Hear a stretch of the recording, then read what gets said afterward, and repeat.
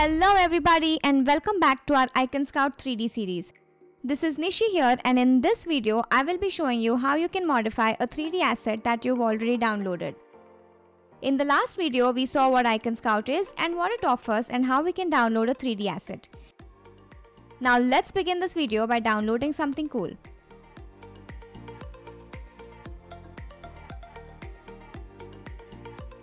Once you're sure about which asset you want to download, just hit download. In this case, because I want to modify the colors of this particular asset, I'm going to download the blend file. In order to open this .blend file that you just downloaded, you need a free 3D software called Blender. To download and install Blender, just go to blender.org and say download Blender. From here, you should be able to install the latest version of Blender. Once downloaded, Simply follow the steps to complete your installation. Now since I already have Blender installed on my computer, I'm just going to go ahead and open the file that we just downloaded. So once you open the .blend file, this is what your asset file looks like. Currently you have your asset right here in the middle and then there's a square surrounding it. This square is nothing but your camera view which means this is exactly what your asset is going to look like in the final render in terms of its composition. In order to get out of the camera view, you can simply move about in your viewport. If you are new to Blender and are unsure of how you could do this, here are some quick steps. You could always use these tools here that are present on the right. Click and hold on the magnifying glass icon to zoom in and zoom out. Similarly, click and hold on the hand icon to pan your scene and if you want to move about freely, just make use of this gizmo here. Just press and hold and move about. If you don't want to use these tools that are here on the right, you could always make use of some shortcuts. And here's how you could do it. If you want to simply move around in your scene, press and hold your middle mouse button and move about.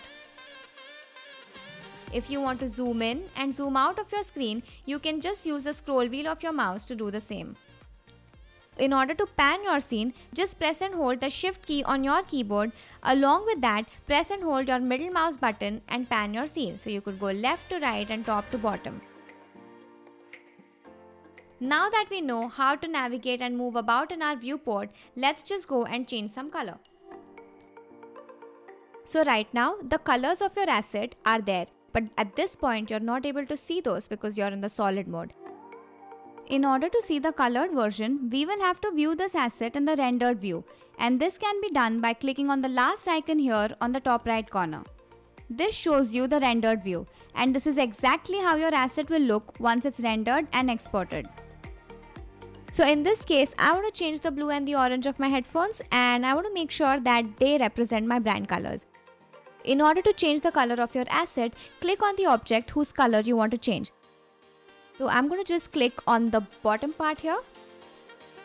So once you choose your object, you still can't see the color palette or where you can change the colors anywhere.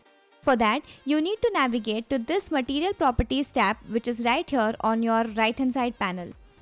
So once I do this, I can see that I have a bunch of properties here at the bottom and I have all the colors or all the different materials that have been applied to my asset present right here. So right now I have the white which which is this part. Then I have the blue which is the outer side of my headphones on the headband and the bottom part of my headphones. And then I also have the orange which is applied over here. Now let us proceed by changing the color of the blue that we want here. So in order to change the blue, you can just click on this particular attribute or this particular channel which says the base color. So once you do that, you can see that a color wheel with a few options here at the bottom pop up. You can click on the RGB tab here and play with these values to choose the color you like. You can also use the HSV values here and change the values over here to choose the color that you want or you could simply copy and paste your brand colors right here. So I have a color code of my brand ready so I'm just going to copy that and paste it in my hex value and hit enter. So once I do that, I can see that my blue has now changed the mint green that is of my brand color. So now let's do the same thing for orange. So I'm just going to click on orange and now change the color over here. I'm just going to play with the color wheel and choose a color that complements my brand green well. So let me let me see. Okay, maybe a contrasting yellow orange would go well. Okay, perfect. So I want to change the mint green that's here on top. I want to keep the one at the bottom as is. So I'm just going to click the top part here. So I want to change the blue. So I'm going to click on the blue part. So once you do that, you can do the same thing. You click on the base color and you start changing colors. But what is happening right now is it's changing the bottom part too. Because right now the colors of these two components are linked together. In order to change the color of just the top part, you'll have to unlink its material. Over here on the right hand side panel where you have your material properties, when you choose blue, you will be able to see how many times the same material is being used. So in this case, your blue material is being used two times. It's the same material that's being used for the headband over here and the bottom part. In order to unlink, you can just simply go and click on this number 2 here. So once you do that, your material is now renamed to blue 001 because it's not the same anymore. If you want to recheck it, you could just click the bottom part and you will see that this blue remains just blue. It's not renamed, right? So we'll just go back to the headband and we'll rename this material to headband. So once you do this, you can see that it's now only changing the color of the top part and it's not affecting the bottom part at all. Okay, perfect. I think I'm going to change the inside white part as well. So I'm just going to click back here and I'm going to click on the white this time and I'm just going to use the slider here on the right and take it all the way down so that it's now nice and black because now this black complements my color scheme a lot better than the white did. And let's just rename our white material to say black. So once you do this, you can see that now you've very successfully changed the colors of your asset right here. Now that the colors have been changed, let's see how we can manipulate the surface materials. Say the yellow part that you have over here, you want to make it uh, maybe more glossy or more metal-like. So in order to do that, just choose your orange material here. It Let's just rename this to yellow Okay, so now you can simply play with the roughness and the metallic values over here. You can see that as I bring my roughness value down, my yellow part is more shinier and more glossy. Now that you have a nice glossy sort of a surface here for this, maybe you want it, you know, more metal-like or maybe you want to give it a more gold-like feeling. In that case, you can just increase the metallic value.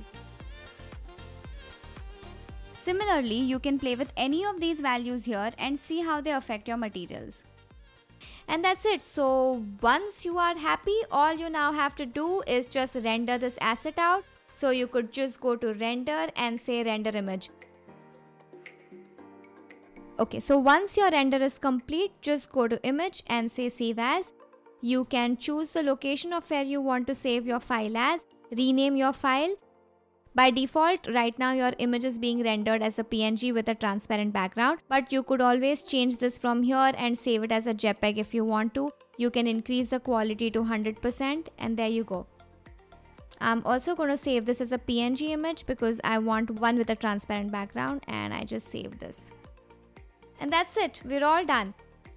You can now use these exported images, both PNG and JPEG in any design that you're working on.